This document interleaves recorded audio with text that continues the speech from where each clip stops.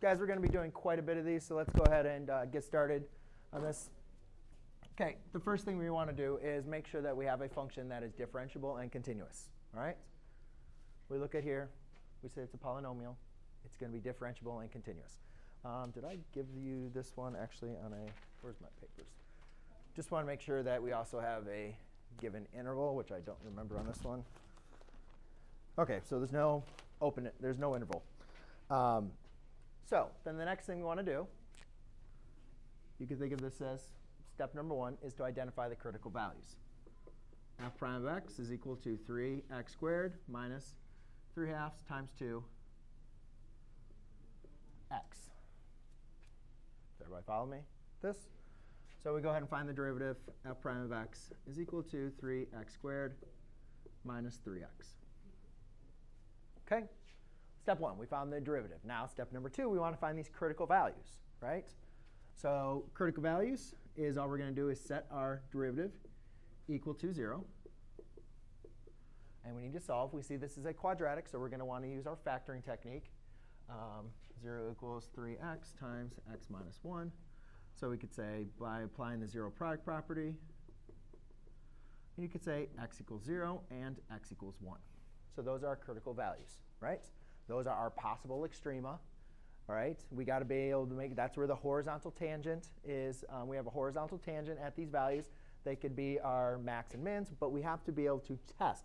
We don't just want to assume, because remember there was that option 3, right? There's that option 3 that it can change from positive to positive. So just, just because you have here, don't assume that these are going to be a max or a min.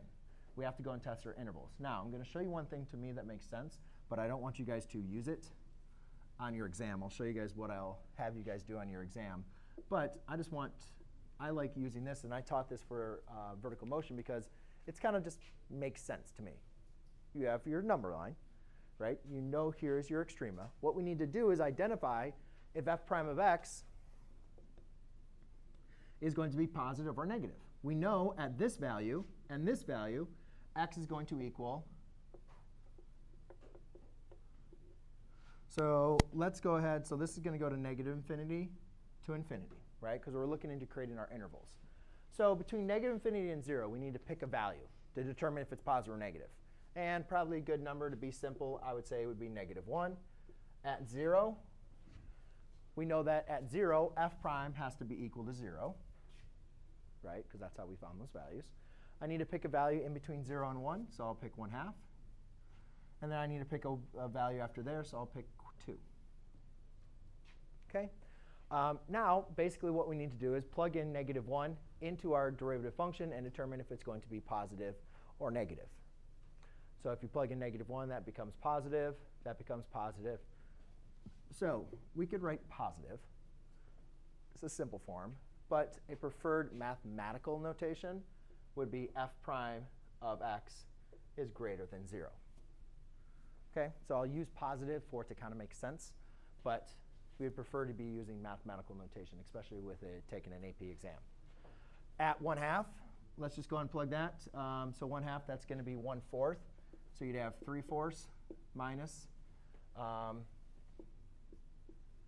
3 halves. So that's going to be negative, or f prime of x is less than 0, because 3 halves is larger than 3 fourths.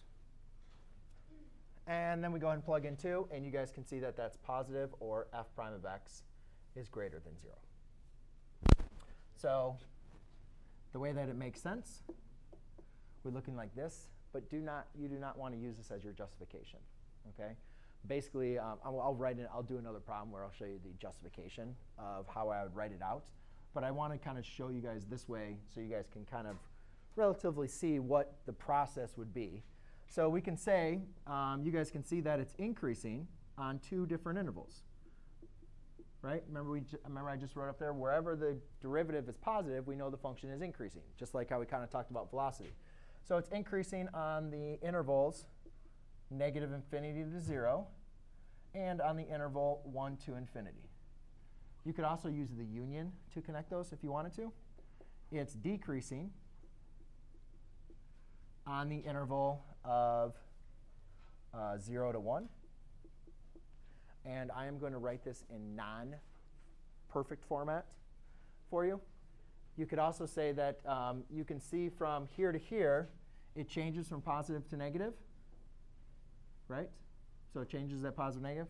So we could say at x equals 0 is going to be a, let's see, positive to negative. So that's going to be a relative max. And at x equals 1 is a relative min. Again, please understand, I am just going through the mathematics